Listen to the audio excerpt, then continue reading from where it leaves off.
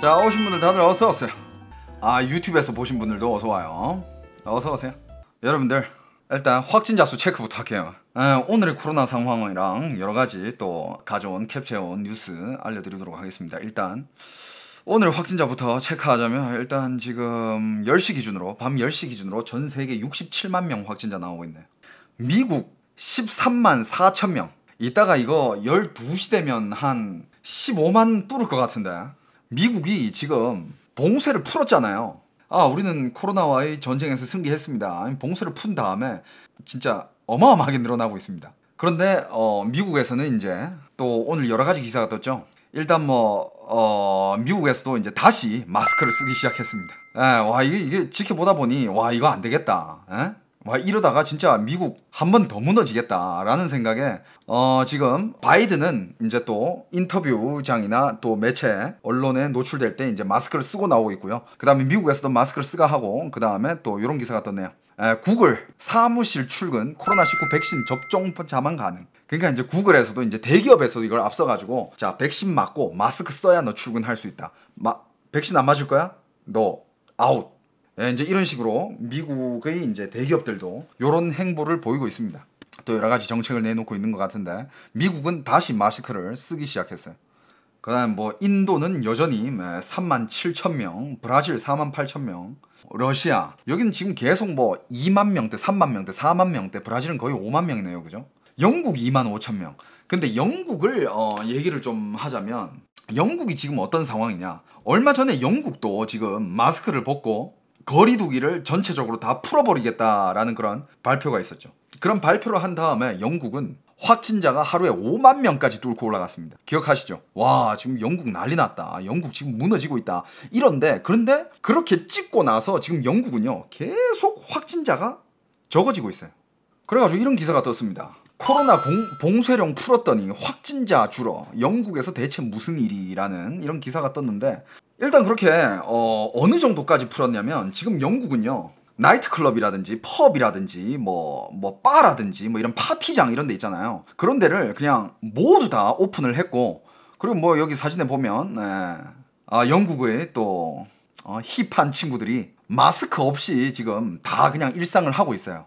어, 근데 이렇게 일상을 하고 있는데 어떻게 그렇게 코로나 확진자 수가 줄어드냐라는 이런 의문이 있는데 미국도 지금 한동안 똑같았거든요. 미국에서 막 콘서트도 하고 막 힙합 페스티벌 뭐 이런 것도 하고 페스티벌 거기 막 영상 지금 인스타그램에 엄청 올라와요. 보면 아무도 마스크 안 쓰고 있어요. 그냥 다 파티하고 있어. 하지만 미국은 지금 하루에 막 확진자가 2만 명, 3만 명대에서 오늘 14 14만 15만 막 이렇게 올라오고 있는데 영국은 왜 줄어드냐? 일단 어 뭐 여러 가지 얘기가 있는데 이것도 뭐 어 영국 입장에서는 지금 이걸 좋아졌다고라기 하기에는 어 너무 조심스럽다. 왜냐하면 너무 많이 당했으니까.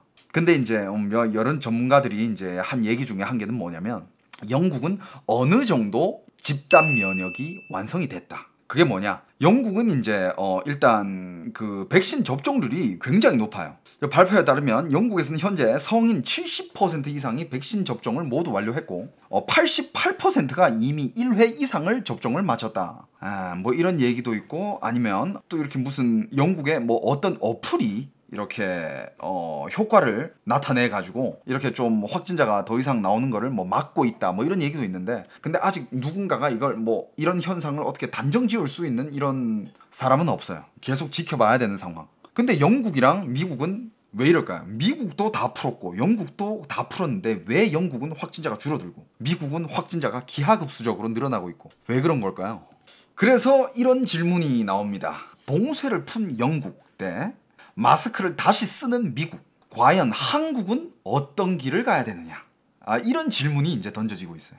어, 이것도 다 최근, 최근 기사죠, 이거. 어, 보시면. 24일, 런던 알렉산드라 궁전 공원에서 열린 페스티벌.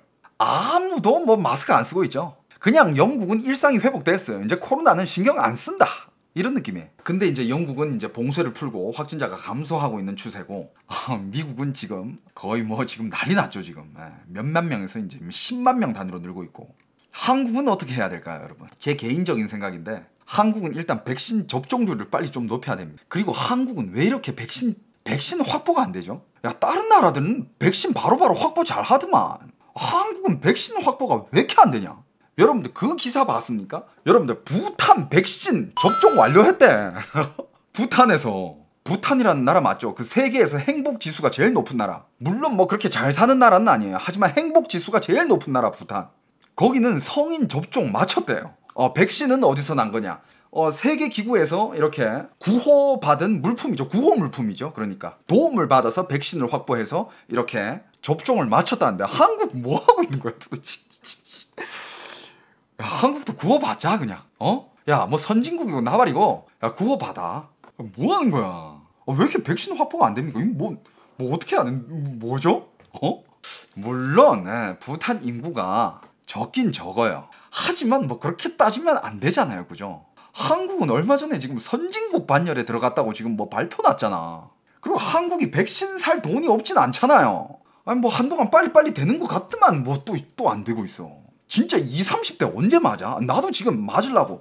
그리고 여러분들 백신을 맞는다고 해도 백신 맞았다고 해가지고 아 마스크 벗자 이게 안 돼요.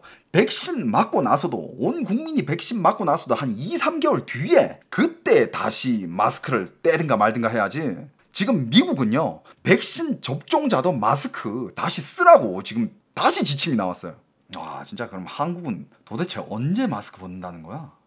자 그리고 여러분들 어 요거는 에, 어제 기사였는데 뭐 물론 뭐 확보가 안 되는 거 아니지만 좀 늦어. 어제 뭐 요런 기사가 한 개 떴어요. 오늘 도입 화이자 268만 회분 8월 접종에 활용할 것. 그러니까 뭐 이렇게 또 한 268만 회분이 확보가 됐나 봐요. 어제 저 기사입니다.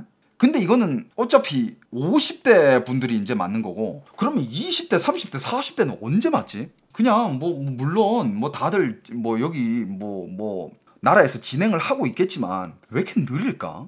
자, 또 계속 봅시다.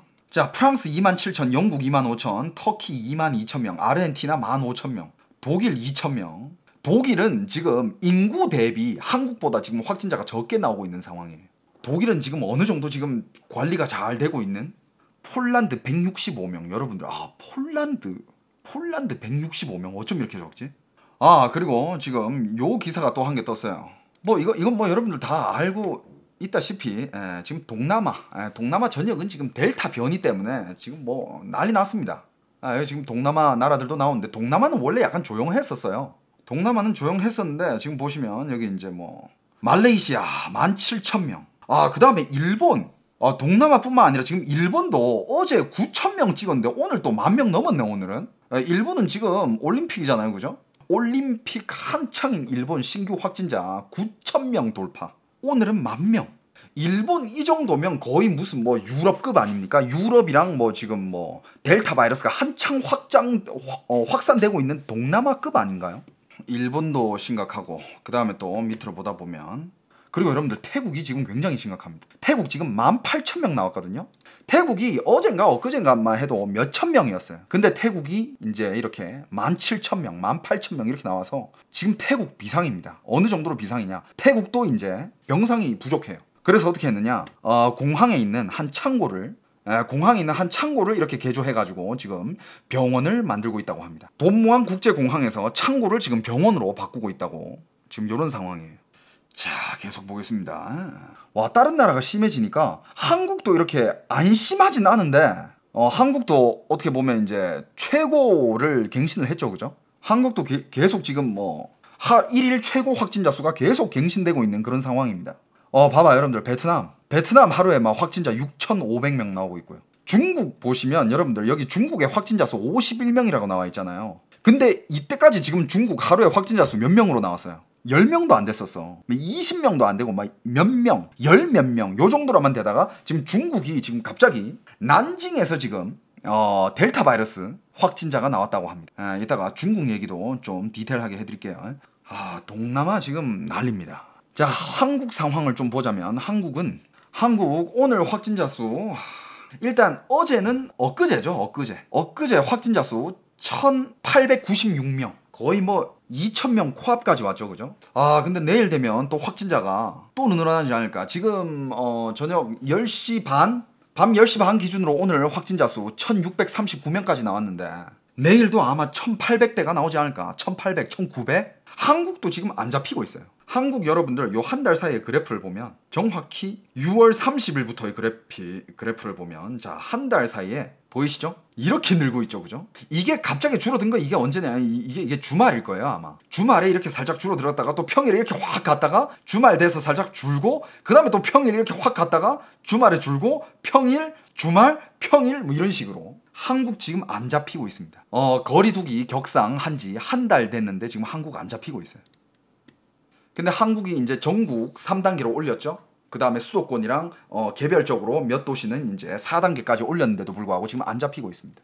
근데 이렇게 늘려도 이렇게 높아져도 여러분들 일상생활 하시죠. 평소에 여러분들 밖에 나가서 출퇴근하고 친구들 만나고 뭐 밥 먹고 다니고 뭐 이렇게 돌아다닐 거 아니야. 길거리 사람들을 보세요, 여러분. 이제는 확진자가 이렇게 많이 나와도 어, 한국 사람들이 이제 그렇게 무서워하지 않습니다. 초반에 천 명 찍었을 때 한국의 길거리에 사람이 없었어요. 근데 지금은요, 지금 길거리에 사람 가득 차 있습니다.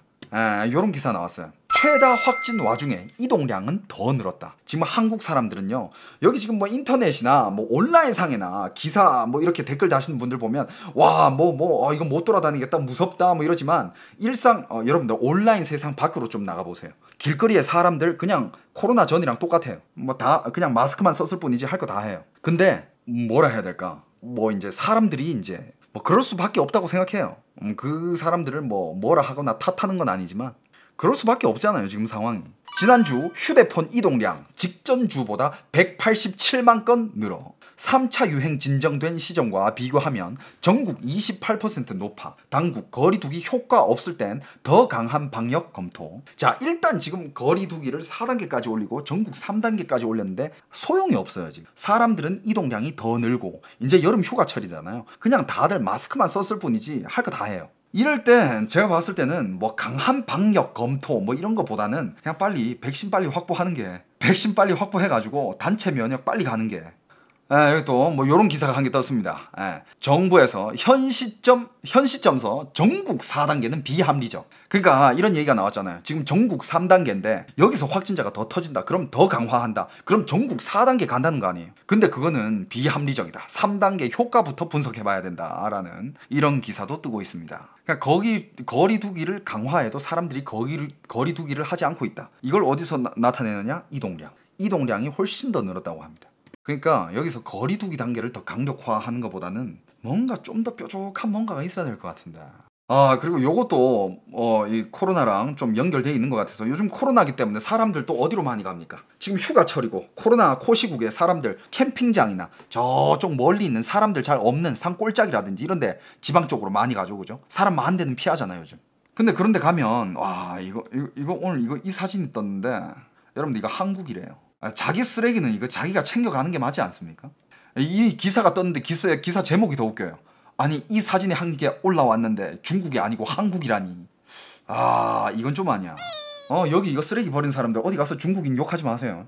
대한민국 국민 수준 이 정도밖에 안 됩니까? 진짜 이 정도밖에 안 돼요. 근데 댓글이 베, 베스트 댓글이 더 웃겨. 베스트 댓글이 더 웃겨요. 뭔가 단단히 착각하고 있는 모양인데 우리나라 국민 수준 원래 저 정도였어. 선진국 수준이라 되는 줄 알았나 보네라고 개선합시다.